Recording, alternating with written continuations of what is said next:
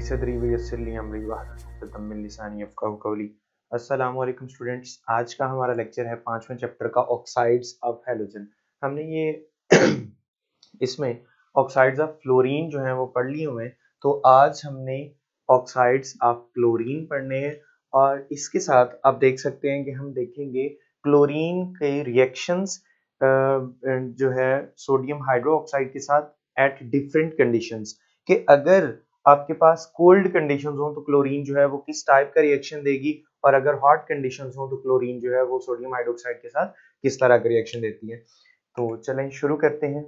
जी तो अगर हम क्लोरीन के ऑक्साइड्स की बात करें तो हमारे पास क्लोरीन मोनोऑक्साइड है डाइक्लोरीन मोनोऑक्साइड क्लोरीन डाइऑक्साइड है क्लोरीन हेक्साऑक्साइड है और क्लोरीन हेप्टाऑक्साइड है। लेकिन हमने यहाँ पे जस्ट क्लोरीन डाइऑक्साइड और क्लोरीन हेप्टाऑक्साइड को डिस्कस करना है। तो सबसे पहले हम जो है क्लोरीन डाइऑक्साइड को डिस्कस करते हैं। क्लोरीन डाइऑक्साइड जिसका फॉर्मूला है सी एल ओ टू सबसे पहले तो हम इसकी प्रेपरेशन देखते हैं कि how can we prepare chlorine dioxide chlorine dioxide can be prepared by two methods आप इसको दो मेथड से प्रिपेयर कर सकते हैं। और वो दो मेथड्स क्या हैं? वन बाय वन हम दोनों को डिस्कस करते हैं। सबसे पहला मेथड ये है कि हम सोडियम क्लोरेट लें।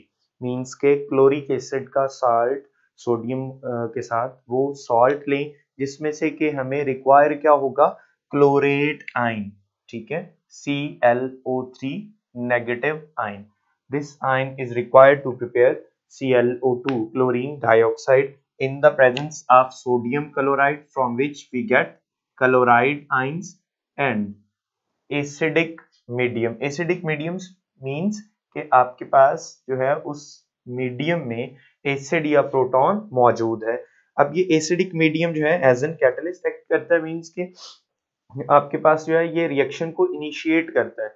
एज सच कैटलिस्ट के तौर पे एक्ट नहीं करता, क्योंकि कैटलिस्ट की जो डेफिनेशन है, उसके मुताबिक ये एसिड जो है, वो कैटलिस्ट नहीं बन पाता। कैटलिस्ट की डेफिनेशन क्या है? क्या substance which enhance the rate of या which changes the speed of rate of a chemical reaction without being used itself जो खुद को यूज़ किए बिना जो है वो क्या कर दे रिएक्शन को इंक्रीज uh, कर दे तो uh, या उसकी रेट को इंक्रीज कर दे या रिएक्शन के जो है वो मैकेनिज्म को चेंज कर दे तो वो कैटलिस्ट होता है। लेकिन यहाँ पे जो एसिड है वो खुद यूज़ हो रहा है इस रिएक्शन में। लिहाजा हम ये रिएक्शन एसिडिक मीडियम में करवाते हैं। आप NaCl के साथ जो है वो SO2 भी यूज़ कर सकते हैं। आप मिथाइल अल्कोहल भी यूज़ कर सकते हैं। इनमें से कोई भी आप यूज़ कर लें, आपके पास जो है रिक्वायर्ड प्रोडक्ट्स जो आपकी मिल जाएँगे। तो आपके पास ये रिएक्शन किस तरह से होता है, हम देखते हैं जी। क्लोराइड आइंस जो हैं, ये क्या होते हैं? ऑक्सीडाइज और कन्वर्ट हो जाते हैं क्लोरीन ऑक्सीडाइज क्लोरीन में मॉलिक्यूलर क्लोरीन में। और एक ऑक्सीजन रिलीज़ होता है from chlorate and it converts into chlorine dioxide 2ClO2 and the 4H positive ions form H2O means water बनता है। क्लियर हो गया? यहाँ तक। ये था जी इसका पहला प्रेपरेटरी मेथड कि अगर हम क्लोरेट सोडियम क्लोरेट को सोडियम क्लोराइड की मौजूदगी में या मिथाइल अल्कोहल की मौजूदगी में सोडियम क्लोराइड के साथ या सल्फ़र डाइऑक्साइड की मौजूदगी में इन एसिडिक मीडियम रिएक्ट करवाएँगे तो आपके पास क्लोरीन डाइऑक्साइड आपका रिक्वायर्ड प्रोडक्ट मिलेगा। और उसके बाद जो नेक्स्ट इसका जो रिएक्शन है, वो ये है कि अगर हम पोटाशियम क्लोरेट का रिएक्शन करवाएँ सल्फ्यूरिक एसिड के साथ, किसके साथ? सल्फ्यूरिक एसिड के साथ तो आपको क्या मिलता है? क्लोरीन डाइऑक्साइड मिलता है। But this reaction is so violent so we have to use any retarder या ट्रैंक्वलाइजर हम क्या करते हैं जी? एक रिटार्डर यूज़ करते हैं that is oxalic acid C2H2O4 this is, this act as an retarder. Means के आपके पास ये रिटार्डर ऐसा फैक्टर होता है जो किसी भी केमिकल रिएक्शन की स्पीड को या रिएक्टिविटी को कम कर देता है। तो ये रिएक्शन बहुत वायलेंट होता है। उसकी वायलेंस जो है उसको कम करने के लिए हम क्या यूज़ करते हैं? ऑक्सालिक एसिड यूज़ करते हैं। आपके पास प्रोडक्ट क्या होंगे? Potassium chlorine dioxide okay potassium sulphate plus आपके पास क्या होगा? 2H2O और प्लस आपके पास क्या होगा? Two C O two.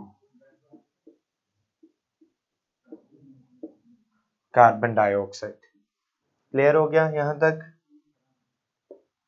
तो उसके बाद हम अगर जो है ये क्लोरीन डाइऑक्साइड है, इसकी प्रेप इसकी जो प्रॉपर्टीज़ है उसके बारे में बात करें तो क्लोरीन के जितने भी ऑक्साइड्स हैं वो समवट अनस्टेबल है मींस के ये स्टेबल नहीं है, ये एज सच स्टेबिलिटी शो नहीं करते थोड़ी सी इधर उधर की कंडीशन शो हुई नहीं, और ये जो है वो एक्सप्लोड कर जाते हैं, फट जाते हैं। इसी तरह क्लोरीन डाइऑक्साइड जो है, ये भी वाटर में डिकम्पोज भी होता है और अगर क्लोरीन और जो है वो ऑक्सीजन के मिक्सचर में आप इन्हें मिला दें तो ये एक्सप्लोड कर जाता है, ठीक है?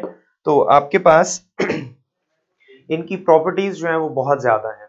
मीन्स के ये ब्लीचिंग एजेंट के तौर पे यूज़ होते हैं। अब ब्लीचिंग एजेंट क्या होते हैं? ब्लीचिंग एजेंट मीन्स के ये किसी भी जो कलर्ड मटेरियल है, उसको डीकलराइज करने की कैपेबिलिटी रखते हैं। तो इसको सेलुलोज में यूज़ भी किया जाता है as an bleaching agent. Clear हो गया। उसके बाद हमारे पास जो क्लोरीन का सेकंड ऑक्साइड है, वो कौन सा है? क्लोरीन हेप्टा ऑक्साइड अब क्लोरीन हेप्टा ऑक्साइड जो है, ये हमें प्रिपेयर करने के लिए, ये असल में क्लोरीन हेप्टा ऑक्साइड क्या है? It is the anhydride of perchloric acid chlorine hepta oxide Cl2O7 ये क्या है असल में? It is the anhydride of perchloric acid तो इसकी प्रेपरेशन क्या है? जस्ट आप क्या करें? डीहाइड हाइड्रेट करवा दें किसको? पर क्लोरिक एसिड को तो आपके पास उसका एनहाइड्राइड मिल जाएगा।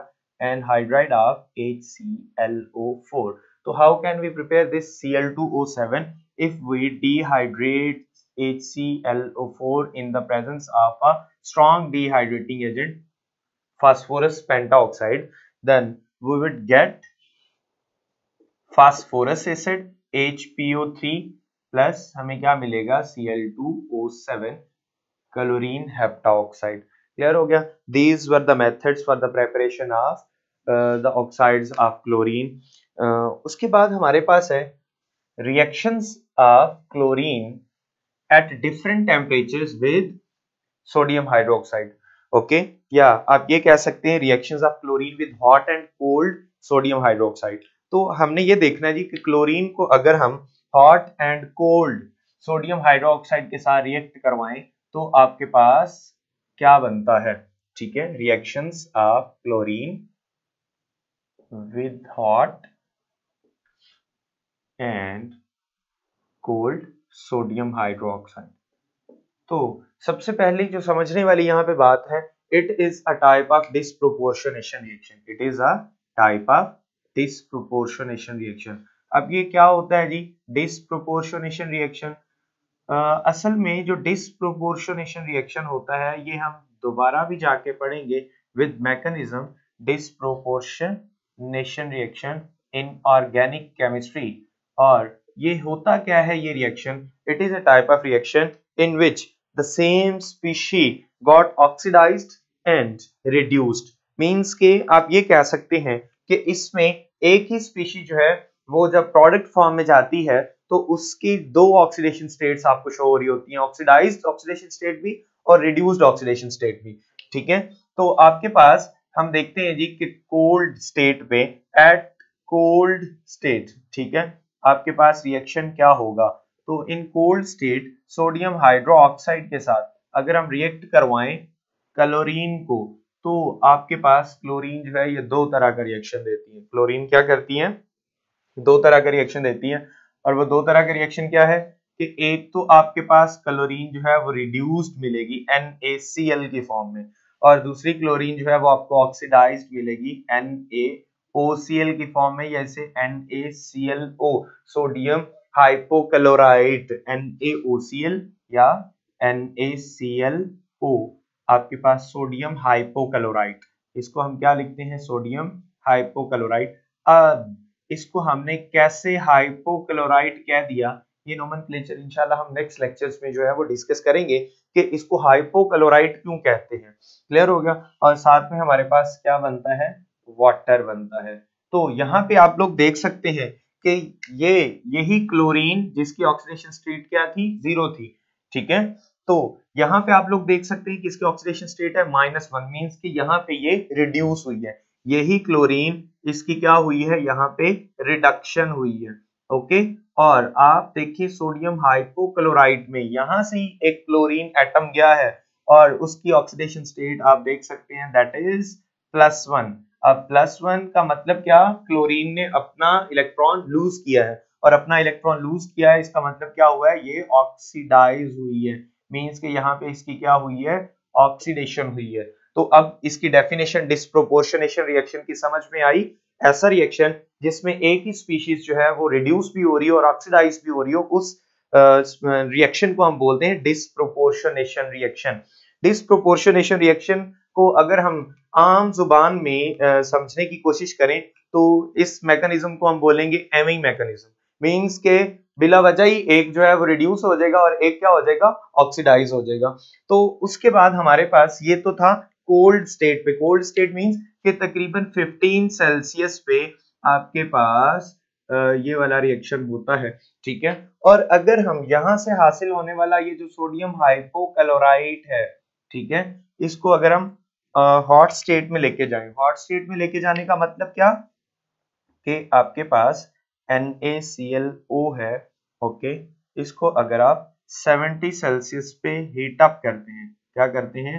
70 सेल्सियस पे हीट अप करते हैं, हॉट स्टेट में लेके जाते हैं तो आपके पास जो रिएक्शन मैकेनिज्म है वो चेंज हो जाता है और फिर यहाँ पे हमें एक डिस्प्रोपोर्शनेशन रिएक्शन मिलता है। यहाँ पे हमें जो क्लोरेट में क्लोरीन है, इसकी आप देखेंगे कि ऑक्सीडाइज्ड और फिर रिड्यूस्ड फॉर्म मिल रही है, ठीक है? यहाँ से हमें क्या मिलता है? एक तो सोडियम क्लोराइड अब सोडियम क्लोराइड कौन सी फॉर्म है? रिड्यूस्ड फॉर्म ऑफ़ क्लोरेट है। सोडियम क्लोराइड, क्योंकि यहाँ पे क्लोरीन का नेगेटिव वन होता है। और यहाँ से और हमें क्या मिलने वाला है? और हमें मिलने वाला है NaClO3 सोडियम क्लोरेट हाइपोक्लोराइड से हमें क्या मिला है? सोडियम क्लोरेट और यहाँ पे क्लोरीन की अगर आप ऑक्सीडेशन स्टेट देखें तो प्लस फाइव है, ठीक है? यहाँ पे oxidation state of chlorine is plus one okay आपको यहाँ पे मीन्स के इसके प्रोडक्ट्स में क्या मिला? Negative one chlorine reduced form और plus five chlorine oxidised form more oxidised form तो this reaction is also a disproportionation reaction okay हमारे क्लोरीन के डिफरेंट टेम्परेचर्स पे सोडियम हाइड्रोक्साइड के साथ रिएक्शंस पढ़ने का मकसद ये था कि हम इसकी डिस्प्रोपोर्शनेशन को समझ जाएँ कि कैसे क्लोरीन जो है वो एक ही रिएक्शन में, एक ही मैकेनिज्म में एक ही कंपाउंड के साथ रिएक्ट करते हुए ऑक्सीडाइज भी होती है और रिड्यूस भी होती है। क्लियर हो गया यहाँ तक? तो उसके बाद हमारे पास है, जी, इस रिएक्शन को बैलेंस करना है हमने। मींस के ये रिएक्शन जो ए है और बी इन जो है, इन रिएक्शंस को हम कैसे बैलेंस कर सकते हैं? तो हम इन दोनों रिएक्शंस को अगर हम ऐड कर दें, इन दोनों रिएक्शंस को अगर हम क्या कर दें ऐड कर दें तो आपके पास जो है ये एक बैलेंस्ड केमिकल इक्वेशन बन जाएगी। आपके पास पहले रिएक्शन में देखिए ए रिएक्शन में, इस रिएक्शन को अगर हम नाम दे देते हैं जी ए का, और इस रिएक्शन को नाम दे देते हैं बी का तो वहाँ से हमें एक NaClO सोडियम हाइपोक्लोराइड मिला था, और उसके बाद हमने यूज़ कितने किए three N A C L O means कि ये रिएक्शन होने के लिए three N A C L O चाहिए हैं तो three N A C L O यहाँ पे हमें कैसे मिलेंगे? वो हमें मिलेंगे अगर आपके पास ये जो है सिक्स सोडियम हाइड्रोक्साइड हो थ्री क्लोरीन मॉलिक्यूल्स हो, ठीक है? और इनका इफ़ेक्ट क्या होगा?